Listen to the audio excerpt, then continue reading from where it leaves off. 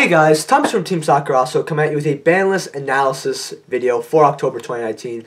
Sorry if my hair is wet, I just got out of the shower, which is something you should do if you're going to regional YCS. Don't stink up the place. Uh, so just getting right into it, uh, the winners here are definitely, definitely, without a doubt, a Thunder Dragons. Uh, this deck came out unscratched. You could play Danger Thunder as well. Uh, the deck's also more accessible to players. I think Colossus Ultra Rares are like three to four dollars, uh, possibly even two instead of like 15 20 on what the secrets were. Uh, the Danger's getting reprinted as well. Have lowered the price, especially if you want high rarity instead of low rarity, secrets instead of ultras. You can at least get copies for the deck and play the deck for a lot cheaper than it once was. I believe uh, it peaked at thousand dollars for the deck, Danger Thunder, something along those lines. Now it's way cheaper. Or if you want to play Pure Thunder, uh, whatever route you want to go, it's there. It's a lot cheaper. It escaped the ban list. It has less threats to worry about. Widow Anchor going to one, so you really only have to play against two or three Widow Anchor, and you know, all the decks getting weakened and Thunder Dragons staying untouched is basically bringing all the meta decks to that level. So I think that da- uh, Danger Thunder or Thunder Dragons, uh, depending on which variant you want to play, is at least minimum tier 1.5. I believe it could be a tier 1 deck for this format uh, I definitely suggest picking it up. Um, a huge winner. So, and just because I got this comment on my banlist prediction video, also thank you for 800 views on that. Uh, no, I am not a uh, Thunder Dragon player. Uh, I had I I had um, my curiosity peaked when it first came out, but then just because of the price, I kind of stopped caring about it. Uh, another deck that we are seeing is Sky Strikers. Uh, now, Sky Strikers now have to play with one Widow Anchor. What this means is you will be seeing a max of three Widow Anchor per game. Uh, since they'll have the one copy and then they'll have the Multirole, which banishes it. You can Kagari for it and get it uh, certain other ways, but max you're going to see three Widow Anchor per game, most likely two, and they can't shotgun off their Widow Anchors. Uh, they just have to play, and because this was their way to interact with their opponent, was mainly Widow Anchor along with certain hand traps and floodgates, like Summon Limit uh, was one of them. But Widow Anchor was our main source. So now you only have to play through one Widow Anchor, so you could kind of now beat it. So it kind of becomes more of a strategic card, which is something I really like. Uh, Sky Strikers were always a kind of what I believe to be a deck that you need to think to play, uh, along with it can have varieties. So I'm very curious to see what they're going to replace those two cards with. I believe it's going to be more Floodgates, personally. But I guess time will tell. We'll see what the uh, top Sky Strikers players do. I'm very curious to see that. Also, if you guys can leave a like and subscribe and tell me what you guys are going to play for this list, uh, that'd be great. I'm going to be playing Madolches like a pleb because I love Madolches along with Shaddoll's Shaddoll Danger. That seems absolutely fun with me. So, yeah, Shaddoll, expect a Shaddoll deck profile, by the way, in the next couple days, week or two.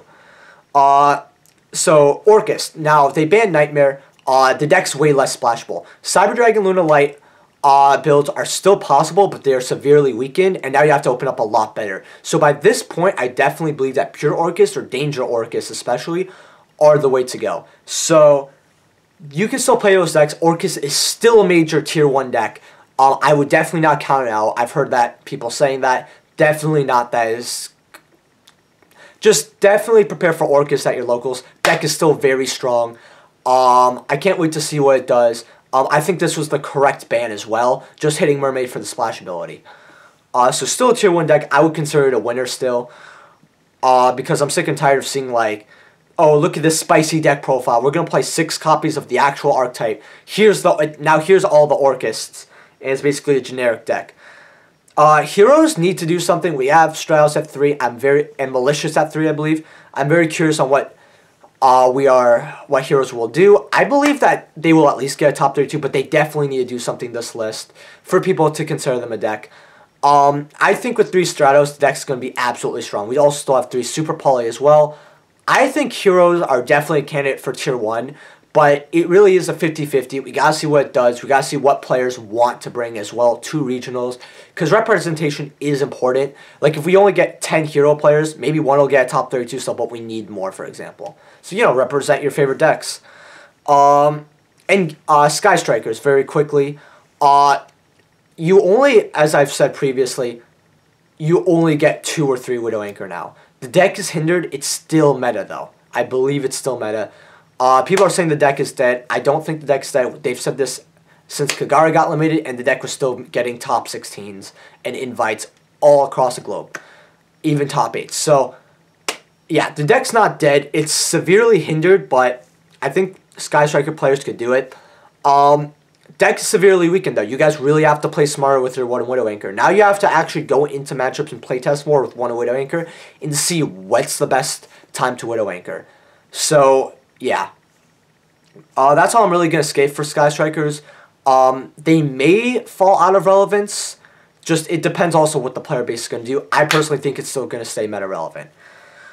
Um, Guardragons, Aggro got banned. Great. They're still relevant. They have uh, Rejuvenation still. Well, we just got Rejuvenation.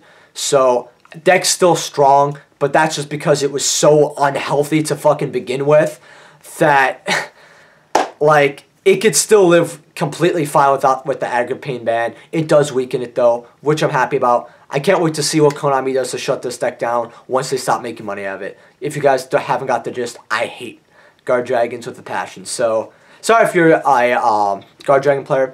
The last thing I'm going to say is Marincesses are definitely going to be a Tier 1 candidate.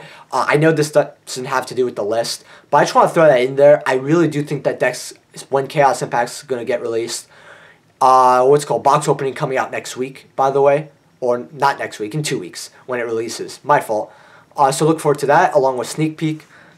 Uh, Royal Tribute, uh, coming off the three. I don't think that's going to do anything because Royal Tribute is not searchable. Along with with the new rulings, uh, when it comes to uh, vision and seeing your opponent's hand, when you mind crush a Royal Tribute, I really don't think this card's going to do anything.